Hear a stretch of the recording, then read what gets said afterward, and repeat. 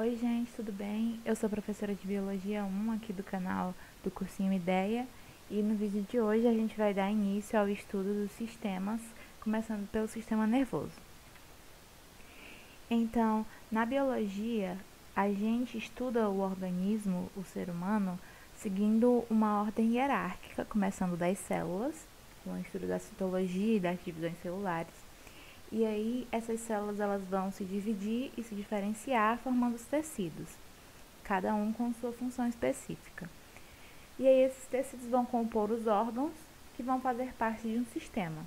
Aqui nessa imagem a gente tem como exemplo o sistema digestório, mas se a gente substituísse esse tecido muscular por um tecido nervoso e esses órgãos pelo encéfalo, pela medula espinal, no final, a gente teria o sistema nervoso, que é o assunto dessa aula.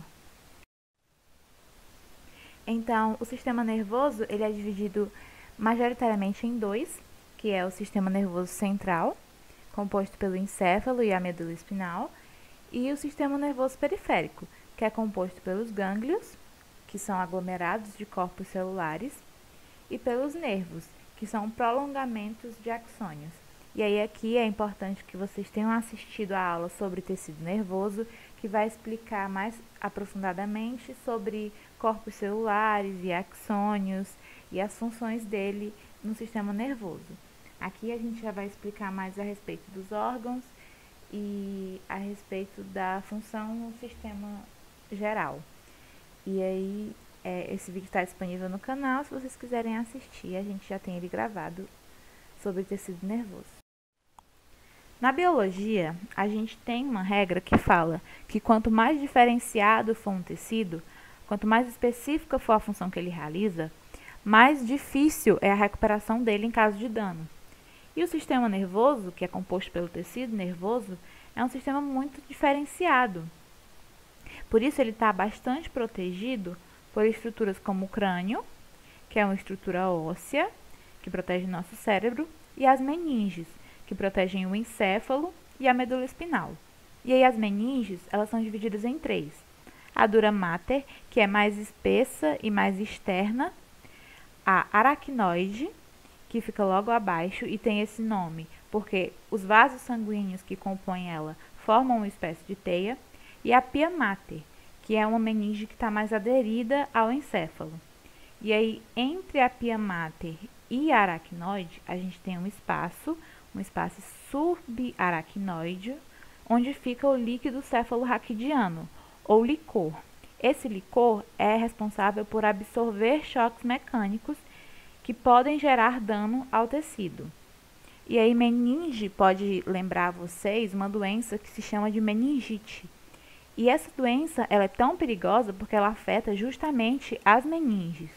E aí, como as meninges ficam muito próximas ao nosso sistema nervoso central, ficou muito próximo aos órgãos do sistema nervoso central, ela pode causar danos como cegueira ou surdez e é uma doença bem grave. Como foi dito, o sistema nervoso central ele é composto pelo encéfalo e pela medula espinal. E o encéfalo ele é composto por três estruturas, que são o cérebro, dividido em telencéfalo e diencéfalo, o tronco encefálico, que é composto pelo mesencéfalo, pela ponte e pelo bulbo, e o cerebelo. E aí a gente agora vai ver a função de cada uma dessas estruturas e a descrição. O telencéfalo, ou cérebro, como ele é mais popularmente conhecido, é dividido em dois hemisférios que são unidos por uma estrutura chamada corpo caloso. Essa estrutura aqui que eu estou contornando. E aí é interessante dizer que cada hemisfério é responsável por um lado do nosso corpo, o lado oposto. Por exemplo, o lado esquerdo do nosso corpo é controlado pelo hemisfério direito e o lado direito do nosso corpo é controlado pelo hemisfério esquerdo.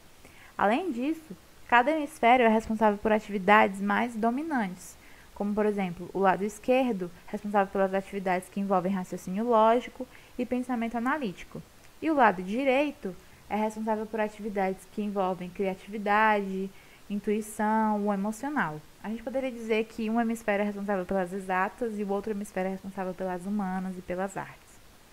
E aí, além disso, ele é formado por uma substância cinzenta, que é composta pelos corpos celulares e está na área mais externa, nessa área aqui mais superior do cérebro, e por uma substância branca, que é uma parte mais interna, aqui, mais internamente, e corresponde aos axônios mielinizados. É, ele é chamado de substância branca porque a mielina é uma camada de gordura que envolve os axônios, um isolante. E aí é por isso que ele tem essa característica, essa aparência branca. O encéfalo também é composto pelo diencéfalo. E o diencéfalo ele é dividido em diversas regiões, como estão mostradas na imagem, mas as duas principais são essas aí, o tálamo, que é responsável por transmitir as informações para o cérebro. Então ele funciona como uma estação de retransmissão dos impulsos e ele vai filtrar as informações e mandar elas para as regiões do cérebro a qual elas estão relacionadas. Porque o cérebro ele tem regiões específicas para determinadas ações, como a fala, como a audição, mas não cabe a gente entrar em detalhes sobre isso. E o hipotálamo, ele mantém a homeostase do corpo. Ele está relacionado por manter o equilíbrio do nosso corpo, por isso ele controla a temperatura, a fome, o equilíbrio hídrico, o apetite, o sono e as emoções, assim como o sistema endócrino. E aí na aula sobre o sistema endócrino, que vai ser postada aqui no canal também, a gente entra em detalhes a respeito disso também. Já o cerebelo, ele está relacionado com o equilíbrio e com a coordenação motora, e aí, quando você toma um álcool, por exemplo, quando, quando você ingere bebidas alcoólicas, você está entorpecendo o seu cerebelo, está deixando ele adormecido, e é por isso que muita gente fica tonta quando bebe bebidas alcoólicas. É, além disso, o cerebelo também é responsável pelo tônus muscular. Então, por exemplo, quando você quer levantar um peso, você, o seu cérebro, o seu cerebelo mais especificamente, vai calcular a força que você vai aplicar para levantar esse peso. E ele também é responsável por essa função. É, além dessas estruturas, o encéfalo também é composto pelo tronco encefálico. E aí o tronco encefálico ele vai ser dividido em mesencéfalo, ponte e bulbo. Sendo o bulbo a estrutura mais conhecida, mais cobrada em prova, porque ela é simplesmente responsável pelo controle das funções vitais do nosso organismo, como o batimento cardíaco e a respiração. E é por causa disso que o tronco encefálico é conhecido como um sistema primitivo ou sistema límbico, que é esse sistema é o que é responsável pela nossa vida, para que a vida seja mantida. São as funções básicas para a manutenção da vida. E aí, além disso, também é no tronco encefálico que vai acontecer o cruzamento das fibras nervosas. E esse cruzamento das fibras é o que faz com que um hemisfério do corpo seja responsável pelos movimentos do lado oposto. No caso, o hemisfério esquerdo é responsável pelos movimentos do lado direito e o hemisfério direito é responsável pelos movimentos do lado esquerdo. Isso acontece porque no tronco encefálico essas fibras nervosas se cruzam e trocam de lado. E aí o tronco encefálico também é responsável pela comunicação entre o cérebro e a medula espinal. Além disso, é do tronco encefálico que saem os nervos cranianos, que estão mostrados aí na imagem. São 12 nervos cranianos e eles fazem parte do sistema nervoso periférico, mas eles têm origem no sistema nervoso central, à altura do tronco encefálico. Como eu já disse anteriormente, o sistema nervoso central devido à sua grande diferenciação e pouca recuperação, ele está sempre protegido. E no caso da medula espinal não é diferente. Ela também é revestida pelas três meninges, a dura mater, a aracnoide e a pia mater, e ela é protegida pelo canal vertebral, a nossa coluna, como a gente pode ver aqui nessa imagem. É da medula espinal que surgem os 31 pares de nervos espinais mistos, é, esses nervos também compõem o sistema nervoso periférico, mas tem origem na medula. E aí, esses nervos são chamados de misto porque eles vão ter função efetora, que é de executar o movimento, por exemplo, e ele vai ter função sensitiva, de receber as informações do meio. E na medula espinal, diferente de como é no cérebro, a substância cinzenta, composta pelos corpos celulares, vai ser interna, como a gente vê aqui, e a substância branca, que é composta pelos prolongamentos dos axônios, ela vai ser externa, como a gente pode ver aqui. Falando agora sobre o sistema nervoso periférico, ele é composto por gânglios e nervos, como já foi dito. E aí os nervos, eles são prolongamentos de axônio, e esses axônios vão estar envolvidos por uma bainha de mielina. Essa bainha de mielina é composta por gordura, e é por isso que o nervo tem uma aparência esbranquiçada. Esses, esses axônios vão se organizar em tubos e vão ser envolvidos por tecido conjuntivo, formando o endoneuro. E aí um conjunto desses tubos é, vão ser envoltos por mais camadas de tecido conjuntivo, formando o perineuro. E aí essa união vai ser envolta por, um, por uma camada revestida pelo epineuro. E aí assim se forma o nervo. Ao longo do nervo, pode ser que você observe uma dilatação. Essa dilatação é o que a gente conhece como gânglio, os aglomerados de corpos celulares. Esses gânglios, eles estão fora do sistema nervoso central e eles são fundamentais na coordenação do sistema nervoso autônomo, que a gente vai ver adiante. Então, o sistema nervoso periférico, ele é dividido em sistema nervoso somático, que é responsável pelos movimentos voluntários do nosso corpo, como o movimento dos nossos músculos, e o sistema nervoso periférico autônomo, que é responsável pelas nossas funções involuntárias, que a gente não controla, que a gente faz inconscientemente. Voltando a falar um pouco do nervo, esse nervo é responsável principalmente pelo impulso nervoso. E aí esse impulso nervoso, ele pode ser transmitido no sentido central para a periferia, e aí essa via a gente chama de via eferente ou via efetora, que vai estar relacionada com o neurônio motor, que o sistema nervoso central vai transmitir a informação para que ela possa ser executada, seja isso voluntário ou involuntário. A gente também vai ter a via aferente ou via sensitiva, que vai estar relacionada com o neurônio sensorial, onde a gente vai receber uma informação do meio externo e essa informação vai ser levada para o nosso sistema nervoso central. E aí esse conhecimento é muito importante para a gente entender um pouco sobre o arco reflexo, que acontece principalmente a nível de medula espinal.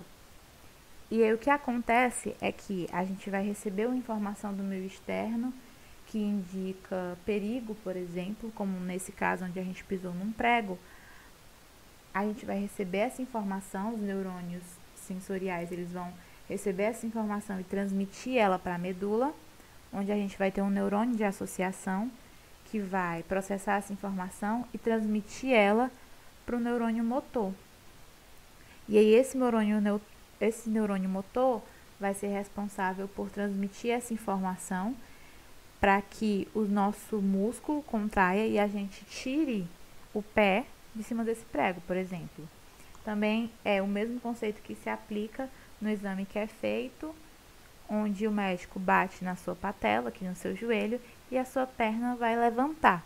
Isso acontece porque o neurônio sensorial vai transmitir a informação para a medula e a medula vai transmitir a informação para o seu músculo para que a sua perna levante. E isso é uma coisa que ocorre em questões de milissegundos, é muito rápido, porque está a nível de medula. O seu corpo precisa interpretar situações de perigo, como o fato de você estar tá pisando num prego, rápido, para que você evite um dano maior. Então, é por isso que é uma coisa a nível de medula, que é um processamento mais rápido. E aí, só depois você vai se tocar do que aconteceu, porque é só depois que a informação vai finalmente ser transmitida para o seu cérebro e você vai processar aquela informação. O sistema nervoso autônomo é um assunto muito cobrado em provas em vestibulares e ele está relacionado às ações involuntárias do nosso corpo aquelas que a gente faz inconscientemente, como por exemplo os batimentos cardíacos, as contrações do trato gastrointestinal, como peristaltismo, a respiração involuntária, a secreção através das glândulas, por exemplo. E aí ele vai ser dividido em sistema nervoso autônomo simpático e parasimpático, sendo que o neurotransmissor principal do sistema nervoso simpático é a adrenalina e o neurotransmissor principal do parasimpático é a acetilcolina. Esses dois sistemas, como fazem parte do sistema nervoso periférico, eles vão ter nervos atribuídos a ele. E aí, os nervos do sistema nervoso simpático vão estar associados a na altura dos nervos espinais torácicos e lombares, aqueles que saem da medula espinal a nível torácico e lombar. E aí os parasimpáticos vão estar relacionados aos nervos cranianos e aos nervos espinais sacrais. Aí a gente tem na tabela um resumo das funções do simpático e do parasimpático. É comum que as pessoas classifiquem o simpático como aquele responsável pela indução, pelo estímulo, e o parasimpático como a inibição. Mas isso é errado, porque como a gente pode ver na tabela, na digestão, por exemplo, o simpático vai inibir e o parasimpático estimular. Por isso que é mais correto você classificar o simpático como reações de luta e fuga do nosso organismo, que vai preparar ele para situações de perigo e que demandem uma resposta rápida para a sobrevivência. E o parasimpático é relacionado a um estado mais vegetativo, um estado de repouso do nosso organismo. Aqui nessa imagem, a gente pode observar melhor a origem dos nervos, tanto parasimpático quanto do simpático. Aqui no caso do simpático, como eu falei, os nervos têm origem na medula espinal, tanto na região torácica como na região lombar. E aí vai estar relacionado com as atividades de fuga, como dilatar a pupila para melhorar a nossa visão, a estimulação de glicose pelo fígado, a liberação de glicose pelo fígado está relacionado a mais energia. Inibir a atividade do estômago e do pâncreas para inibir a digestão acelera os nossos batimentos cardíacos, relaxa os brônquios para melhorar a nossa oxigenação, a nossa respiração. E várias outras atividades do sistema nervoso simpático. Quanto ao sistema parasimpático, a gente observa que a origem craniana e sacral dos nervos, e aí ele está relacionado com as atividades de repouso, como estimular a atividade do estômago e do pâncreas e estimular a vesícula biliar para ajudar na digestão assim como a salivação também ajuda. Contrair a pupila, reduz os batimentos cardíacos, porque quando a gente está relaxado não tem porque os nossos batimentos cardíacos estarem acelerados. Promove a ereção, contrai a bexiga e todas essas atividades relacionadas mais ao repouso. Então era isso, obrigada pela atenção e não deixem de assistir a aula de tecido nervoso que vai aprofundar um pouco mais sobre alguns termos que a gente mencionou nessa aula, como axônio, impulso nervoso, corpos celulares, gânglios. Eles vão estar mais aprofundados e aí é melhor, pode ser que ajude mais no entendimento da aula. É, bons estudos e não deixem de acompanhar o canal que a gente vai estar sempre postando novas aulas para revisão de vocês.